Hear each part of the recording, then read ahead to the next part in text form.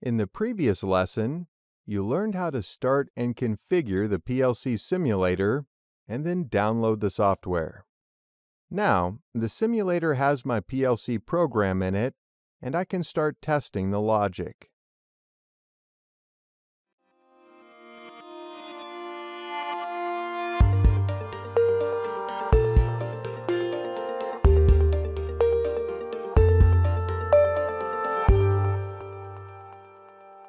As the first step, to go to the online mode, I'll click on this Monitor On-Off icon in the toolbar. OK, the program is now in the online mode and connected to the simulator. These green lines here show where I have the signal as true. As I mentioned before, the stop switch that I'm using here is a normally closed switch. That means, since this switch is already closed, in the normal mode, it will let the signal pass. And because of that, the PLC input that this switch is connected to should already be true. Said differently, since this switch is already closed, the 24 volt signal can reach out to the PLC input that this switch is connected to. This switch is connected to the second input of the digital input card. The address for this input is I01.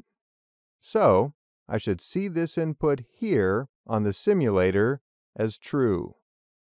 But as you can see, here it shows me that this input is false. Now, why is that? This is because I'm testing the program with the simulator. If the software was connected to a PLC, and I had an actual normally closed switch connected to the PLC input, I would see this input as true in the online mode. But since I'm currently testing the PLC program with the simulator, the input is false here. Now, what can I do here? Here, I can simulate having a normally closed switch connected to the IO1. How? For that, I can simply go ahead and make this input in the simulator true. Now, this works exactly as if I've connected a normally closed switch to this input.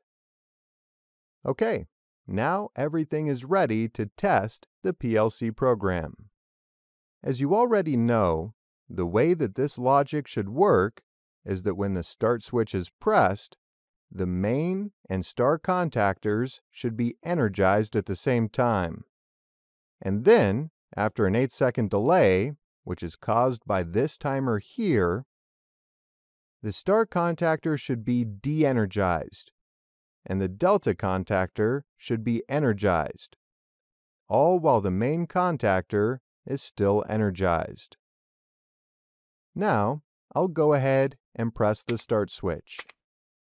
As you can see by doing this, the main and star contactors are going to be energized as expected, and the timer starts timing as well.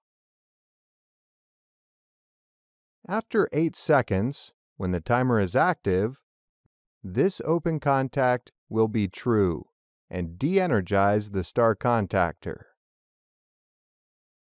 At the same time, since the timer is now active, and the star contactor is de-energized, the delta contactor is going to be energized in the last network.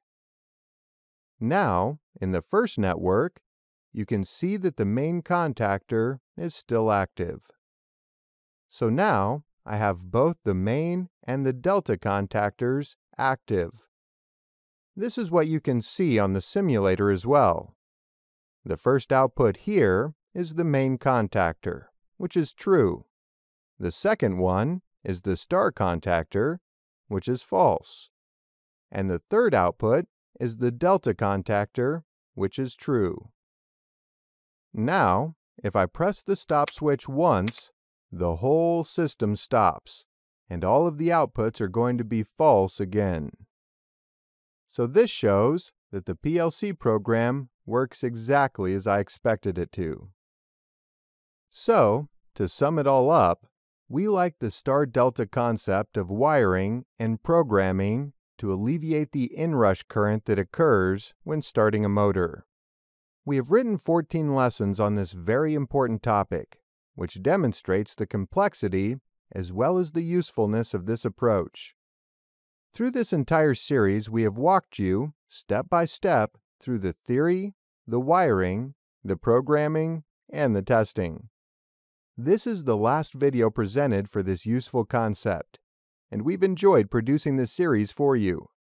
Not only did you gain some excellent knowledge about star delta wiring of motors, but you also began dipping your toes into the PLC programming environment.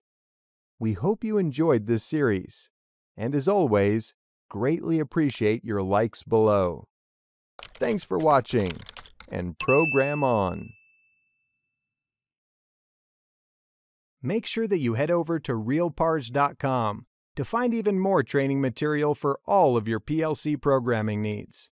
We offer many videos to assist you in learning PLC programming and landing that job in the high paying, highly sought after field of automation and controls engineering. Go to realpars.com and subscribe to our highly effective training series now.